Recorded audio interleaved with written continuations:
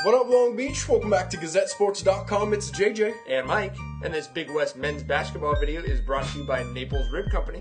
Past LA up the 405. Welcome to the Matadome. Long Beach State on the road for their third Big West game of the week, taking on a young Cal State Northridge team. They start three freshmen, one of whom you might recognize. Hey, way to go. It's Allan Guei, freshman last year, playing for the Compton Tar Babes, ready to tee things off against the meager offerings of the Long Beach State roster. 10 players dressed out, ready to do this thing, one of whom Kyle Richardson holding on to that red shirt by a thread. So, you know what? It's going to be the same old story. Those starting four, that starting five, going to have to get the job done. And it was the same old story, just not in a good way. Casual is the best way to put it. And he's going all the way. Allan with the two. they take an early lead.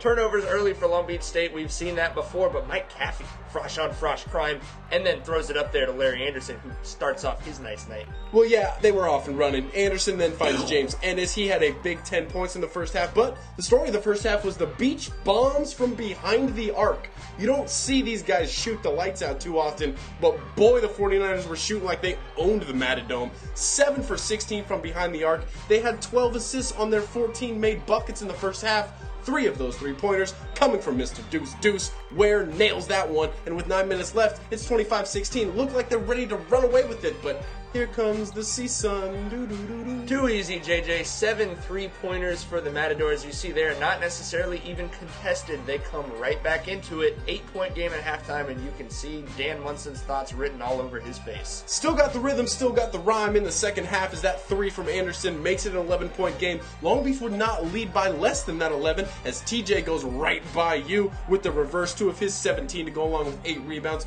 But again, Greene and the Matadors, they're young, but they've got game. Greene with two of his team high 15, but when they didn't make their mistakes, Long Beach was ready to pounce as Ennis back in the pocket finds LAX on the slam. Yeah, the- Touchdown. The, Saints in the black and gold winning on wild card weekend right there. The effort was there all night, and I think that is the most important stat that is not in the box score for this Long Beach State team. Look at this save from Mike Caffey. When they make these plays, Ennis goes to Gene right there, that's when we know they're probably going to win this game. Yeah, and of course, the rebounding is the penultimate stat when you're talking about that effort.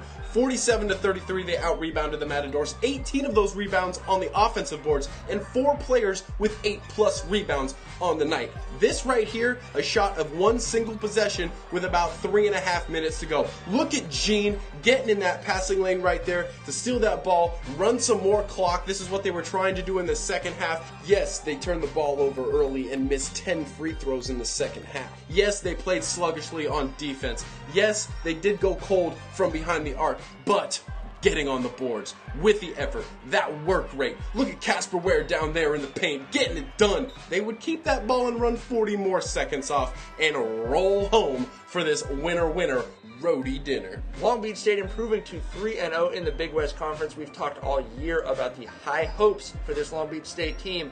Wins like this are the way you get to the promised land, and they're 3 0 in the Big West. They will return home to take on Pacific Thursday night in the Walter Pyramid. For all that coverage and everything Long Beach State Athletics, you stay right here, GazetteSports.com.